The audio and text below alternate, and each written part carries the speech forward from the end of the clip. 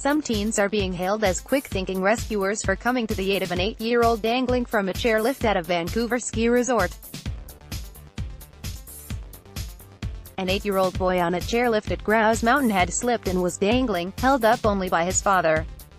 14-year-old James MacDonald, who had been skiing and snowboarding with his friends, told CNN that when he saw the boy, he didn't think the child would be able to hold on much longer, he was starting to flail about and get extremely panicked, MacDonald said.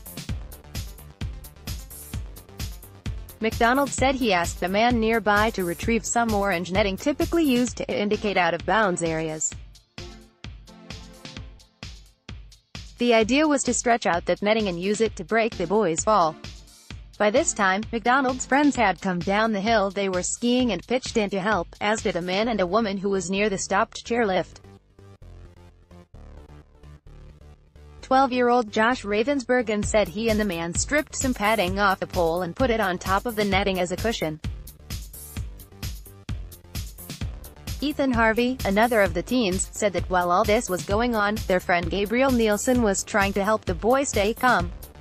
Once everything was in place, Nielsen told the child to take his skis off and asked his father to trust the young rescuers. The father let go of the child, who dropped safely into the net.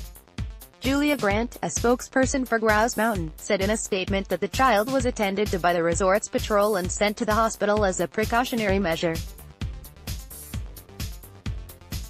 He was found to have no injuries.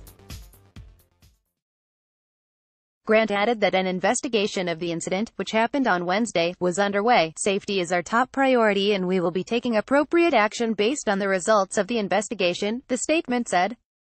Grant also said that Michael Cameron, the president of Grouse Mountain, met with the rescuers to thank them personally and that the resort gave each of them a complimentary season pass. Grouse Mountain is incredibly appreciative of those who assisted in Wednesday's chairlift incident, the statement said. Their quick thinking and immediate actions are commendable.